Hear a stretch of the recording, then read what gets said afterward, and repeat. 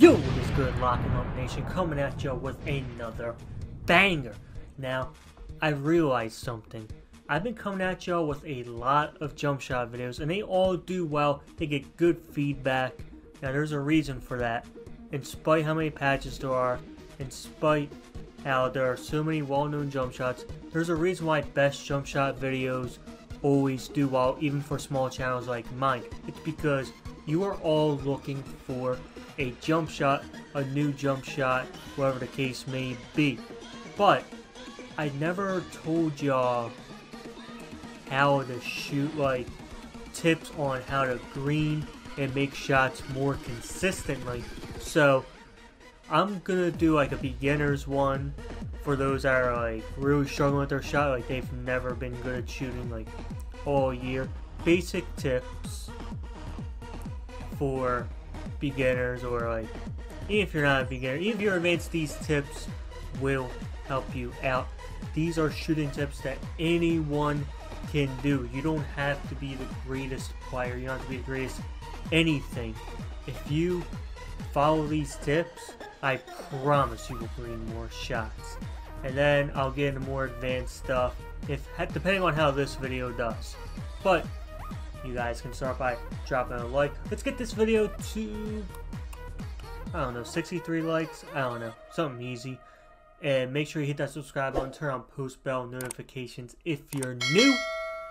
Now, we're going to get into tip number one. Now, these first three tips, we are not touching the controller. Well, we are touching the I mean, we're not going to be touching the basketball. We're not shooting a single shot for these first three tips but they will help you immensely, I promise. The first tip I got for you is to turn off the shot meter. Now, keeping the shot meter on, I mean, your green window oh is big. Your green window oh increases by 20% with the shot meter off. That is a proven fact. Now, you shoot a lot of whites with the shot meter and it's super inconsistent. I used the shot meter up until January and you can still be a good shooter with the shot meter but it's a lot better for you to take the shot meter off and just get to know your jump shot. It will just make you a better player and a much better shooter. The second tip, now, I'm a 90s baby. I don't know what y'all consider an old head. I don't consider someone an old head until they're at least 40. But if you consider someone that's a 90s baby, not even 30 yet, to be an old head, then so be it. But do you know that song, Good Vibrations by Marky Mark and the Funky Bunch? Well, part of the song, it goes, Feel it, feel it, feel the vibration.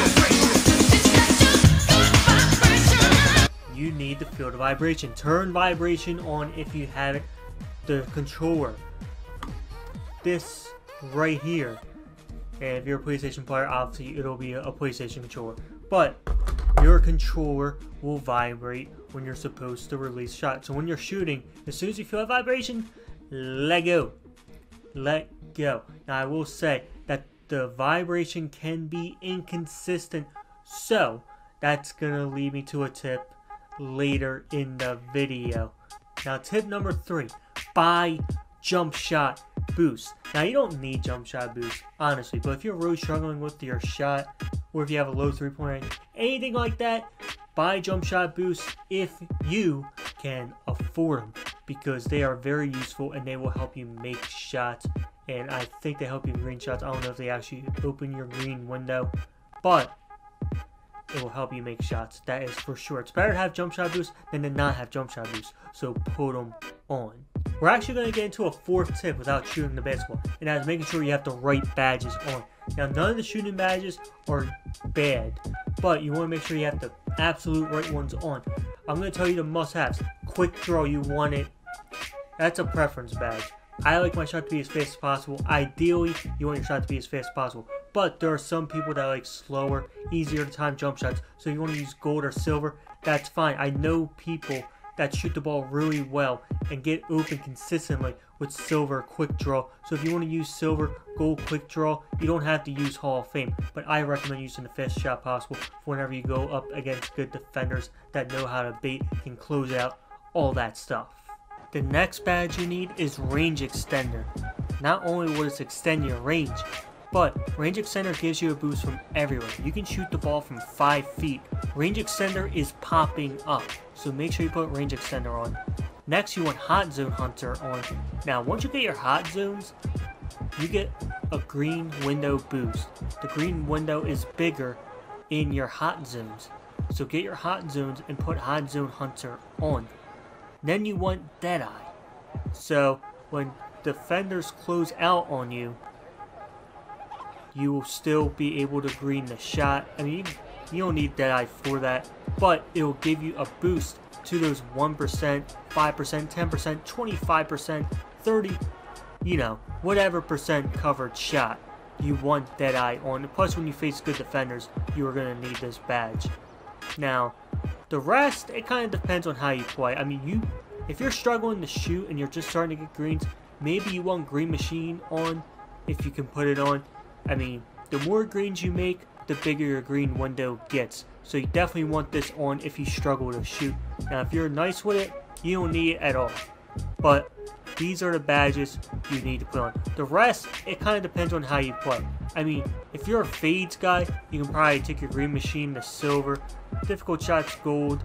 Clutch shooter, most underrated badge in the game. Once you get in a close game against comp, this badge comes in so handy. So, I recommend putting this on bronze. You don't need it higher than bronze. I mean, if you want to, I mean, you can. But I don't think any higher than bronze is necessary. So, like I said, these badges, you need max. Well, quick draw, that's preference. Green Machine, I recommend Hall of Fame, but you can have that on silver. You can get away with silver or gold. And if you're a Fades guy, I mean, these bad, these other badges, I mean, this honestly depends on how you play, what your role is on the team. But I told you to require badges. We're going to move on to the next tip. The next tip we don't like to do this. We want to hop on 2K and play the game. But if you want to be a great shooter, I mean, you gotta practice, bro. Practice your jump shot, especially if you're going to use a new jump shot. You want to go into my court, and here's a drill. I picked this up from Double HDF. I mean, it's very basic.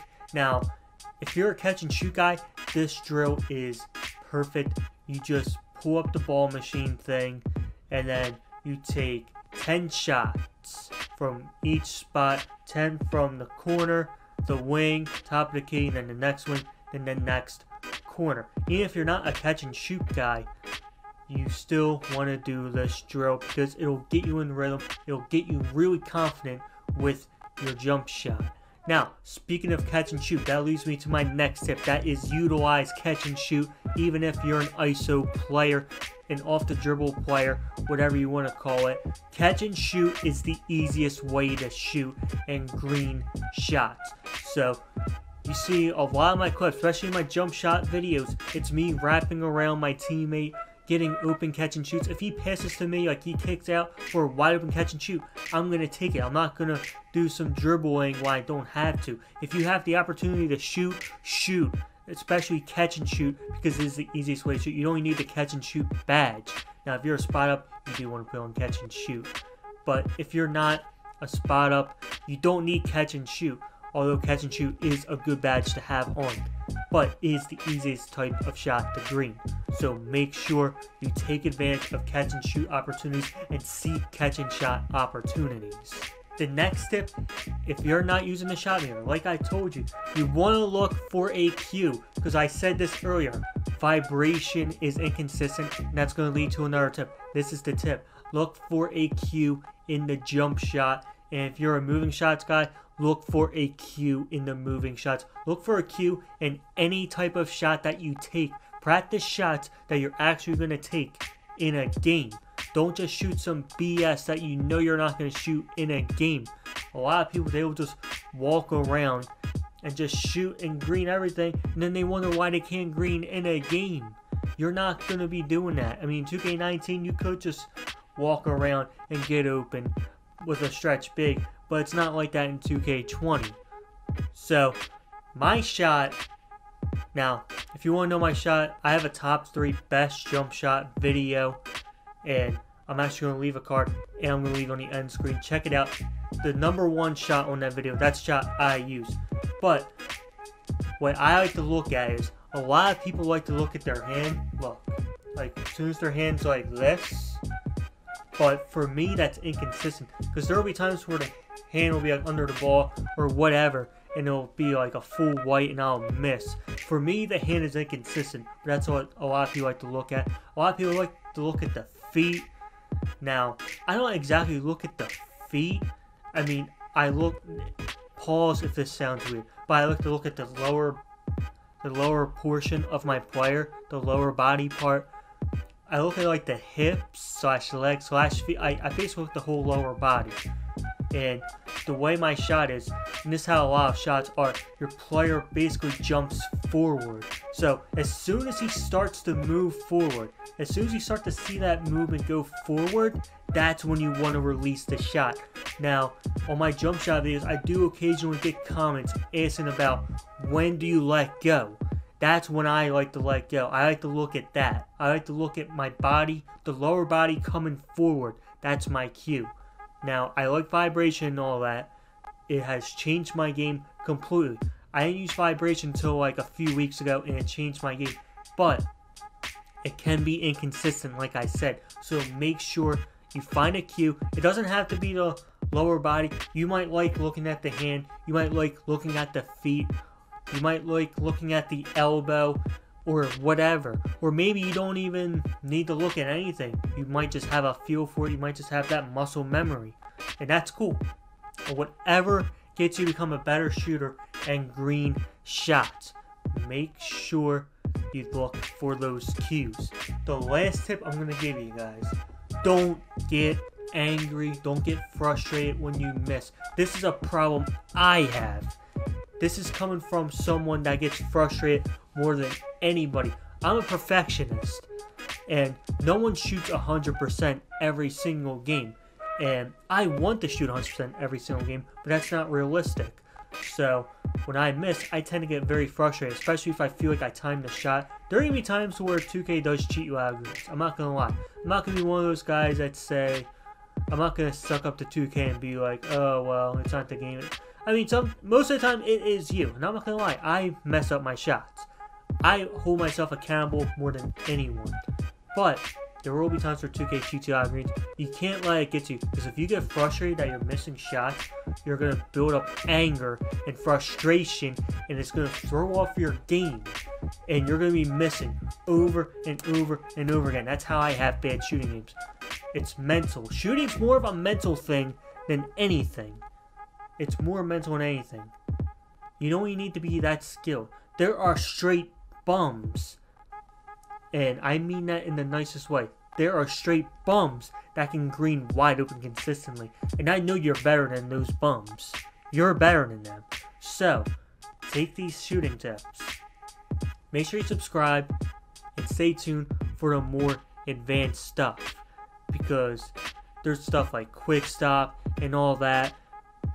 And you are going to become an amazing shooter. You're going to become a great shooter off of this video alone. So, make sure you reward your boy with a like, leave a nice comment. If you have any questions, make sure you comment. I will gladly answer them. I answer all my comments unless you say some super weird out of pocket stuff. And of course, hit that subscribe button, turn on post bell notifications, click a video on the end screen. I will see you there, or I will see you on the next one. But I'm out. Peace.